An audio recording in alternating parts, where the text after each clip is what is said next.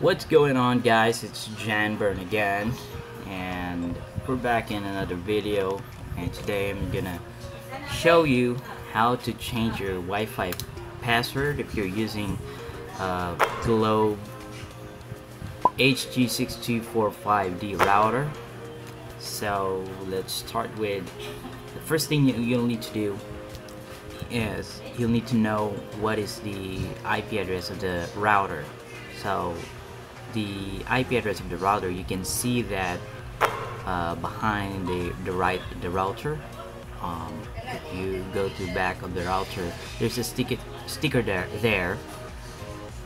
And with the information of the default username and password and as well as the IP address of the router. So the default IP address of the router is 192.168.254.254 so if you access that on an internet browser you will see the device information so the software version hardware version the model of the device.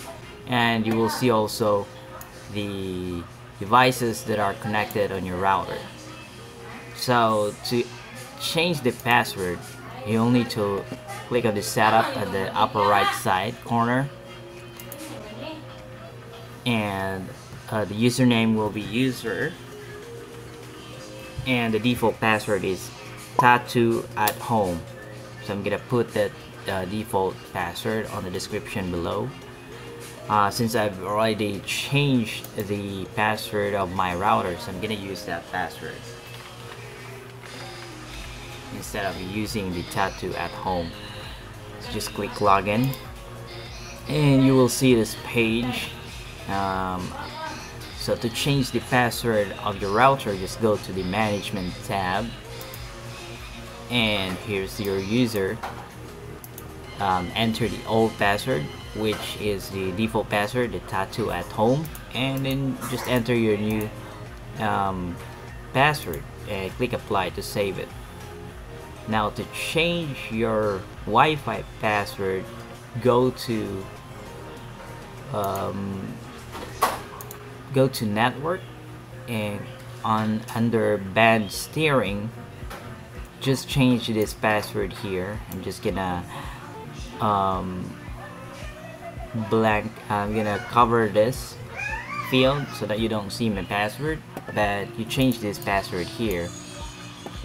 And you you also see this uh, advanced and 5G advanced so you can also ch uh, change that I'm not sure what the purpose for that one but I believe uh, the purpose for 5G advanced is for the device devices who supports 5G um, connection.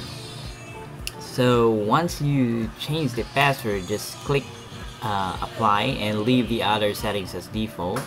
You can also change the SSD name Uh, SSID name rather. That's the um, name that you will see when you turn on your Wi-Fi connection in your phone. You'll see that name as the um, network uh, Wi-Fi. So you can change that whatever you want and change your password click apply to save it. So that's how you change your Wi-Fi uh, password and as well as the router password so um, if you're new to this channel um, consider subscribing because I'll be posting more videos um, on how to use this um, router. Alright see you in the next video. Bye